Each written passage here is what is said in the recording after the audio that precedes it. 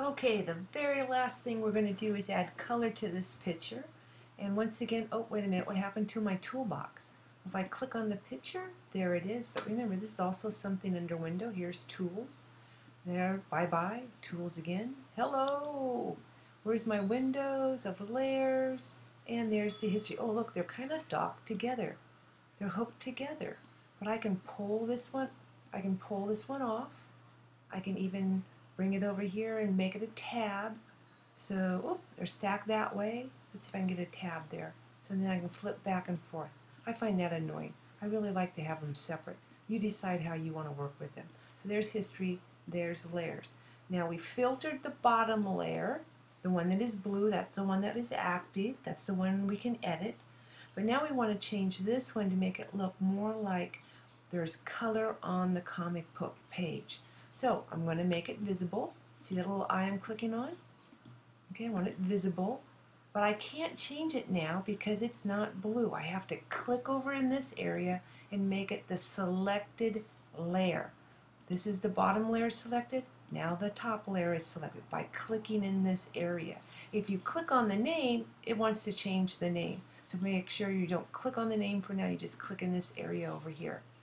Now we're going to play with filters once again. Remember we have a toolbox, we have windows, and we have the menus up at the top of the page, or the, excuse me, the screen. Um, each one of these has commands on them. Menus have commands that tell the computer to do something for you. It's like here I'm working like old school. I'm using tools to do it. Over here I'm letting the computer work for me and do some things for me. So I want to go this time to artistic excuse me, I want to go to, yeah, artistic and choose. I'm pausing. That's me. Dead time. Cutout. And cutout's going to give me a different filter. It makes it look like it's all made out of little cuts of paper, right? Remember, you can make this smaller. What I want to do is get rid of some of the colors. So I'm changing the numbers. Look at that, I'm getting it less and less. There's not a lot of colors in color books, but I do want to be able to recognize the face. Ooh, there's that eye behind the glasses. I like that look. Simplicity, edge simplicity means do you want to get rid of the edges um, or make them very follow the photograph? If you take it up higher, you're simplifying the edges. Oh my gosh, I got an abstract picture. Can't even see that face. I'm going to take it back down till I can see the face. Edge fidelity. Oh, that's I love this word fidelity. Fidelity. If you have fidelity in your marriage, nobody's cheating on you. If somebody is breaking the fidelity, they're cheating in the family. So if I take this up, it doesn't have a big change. It makes the edges truer to the photograph. If I take it down, you might not even see it in this one, but it changes and makes the edge simplified. I kind of like it simplified. There we go. And say OK.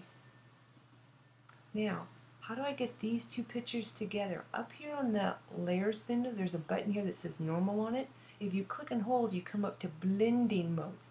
How to blend two layers together. It's kind of like making one layer transparent or mixing the colors from one layer to another layer. So I'm going to play around with these. Here's dissolve. Oh, no change there. Let's try darken. Ooh, that's something I might like to use. How about multiply?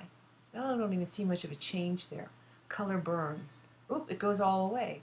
Let's go down to overlay. Any change there? No. So I'm going to play around with this until I get the colors that I like, and I'm done. Vivid light. No, okay, wait a minute, wait a minute. Let me try another one. Um, pin light. Ooh, look at that. Eliminates a lot of colors, but I kind of like the look of that. I kind of got this gross face, but this friendly, happy color. What are you going to choose from the blending modes? Okay, bye-bye.